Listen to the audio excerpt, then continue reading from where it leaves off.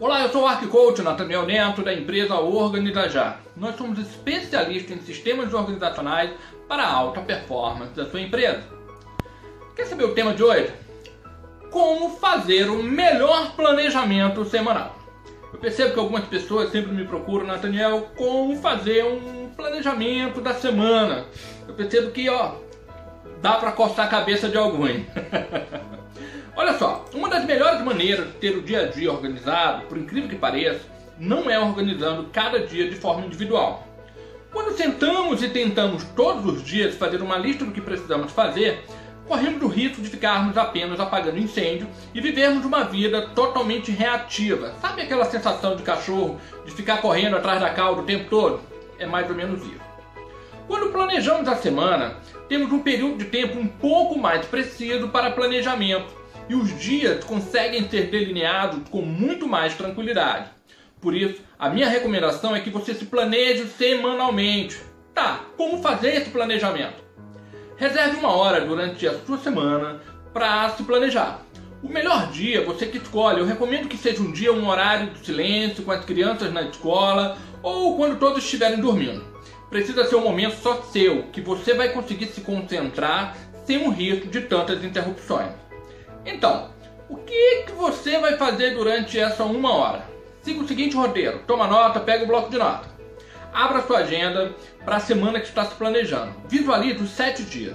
Quais são os compromissos já agendados? Aqueles que já têm um horário, como consultas médicas, reuniões, período de deslocamento. Os períodos de deslocamento são importantes, porque geralmente não são coisas que nós colocamos na agenda. E aqui entra um conceito super importante.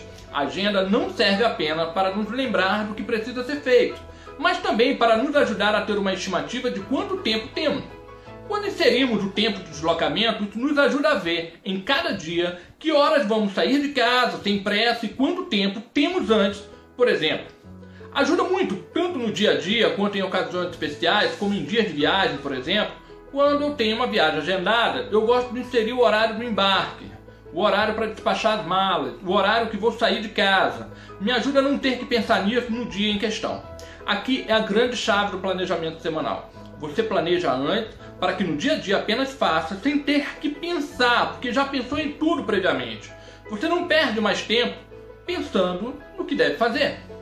Em seguida, pense em como você pode tornar cada um desses sete dias mais fáceis. Por exemplo, se você tem uma reunião na quinta, o que precisa fazer para tirar essa reunião da sua cabeça? Pode ser ler o artigo indicado pelo seu chefe? Isso é uma tarefa que você precisa fazer. Verifique se existem outras tarefas. Essas tarefas ajudam a tomar, na verdade, tornar a sua semana muito mais tranquila.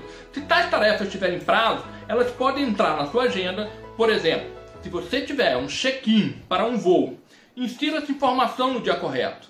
Se tiver que providenciar uma sucata para uma atividade do seu filho na escola até o dia tal, insira essa informação na sua agenda com dias de antecedência.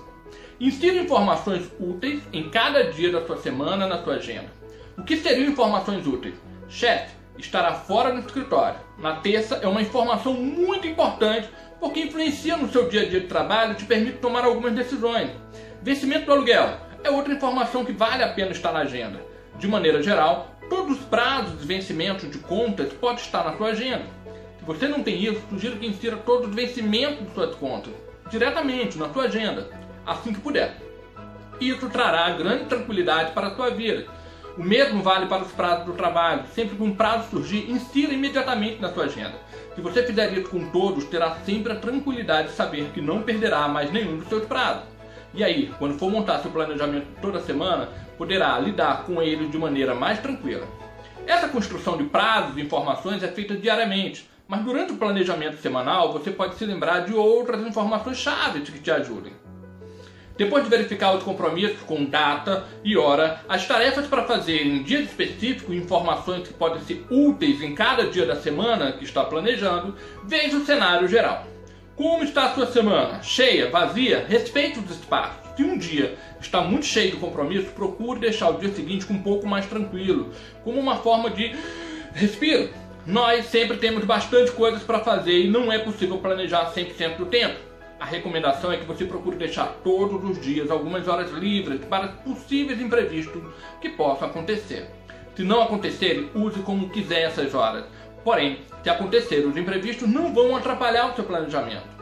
Uma coisa que costumo dizer é que na agenda não é tetras para a gente tentar ficar preenchendo com os bloquinhos. Deixe tempos livres. Mantenha na sua semana aquilo que for realmente essencial e no dia a dia vá preenchendo de acordo com a demanda, que sempre existirá. Garanta que você tenha tempo para dormir, pelo menos 8 horas, descansar, ter momento de lazer, ficar em família, cuidar da casa, todas as atividades que você gosta. Se sua agenda estiver lotada com muitas coisas que você inseriu por acaso, sem necessidade, você perceberá que não sobrará tempo para isso, que também é essencial. É a sua vida. Uma última recomendação que eu gosto de dar é: sempre que tem um dia muito cheio de compromisso, eu gosto de deixar amanhã do dia seguinte livre, para que eu possa processar as minhas notas de reuniões, meus e-mails, relatórios e colocar minha vida totalmente em ordem. Pode ser que você goste da ideia também. Pensa nisso. Eu recomendo que você dedique uma hora a esse planejamento, mas é muito comum que você leve menos tempo para fazê-lo ou até um pouquinho mais. Coloque uma música agradável de fundo, concentre-se, curta seu momento. Você verá como uma semana será muito mais tranquilo depois de planejá-los assim.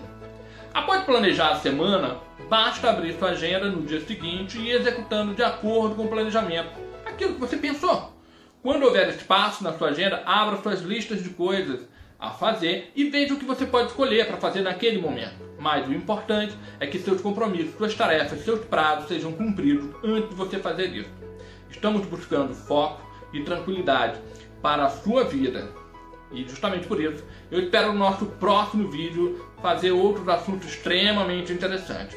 E eu quero aproveitar agora para o que você está fazendo, visita o nosso Instagram, Nathaniel N, visita a nossa fanpage, Organiza Já BR e aproveita para curtir, aproveita para compartilhar, para que a gente possa realmente levar essa mensagem para muito mais pessoas que precisam ouvir essas palavras de motivação, essas palavras de apoio, para que possam ajudar no seu dia a dia, principalmente como profissional. Ok? Um grande abraço até o nosso próximo.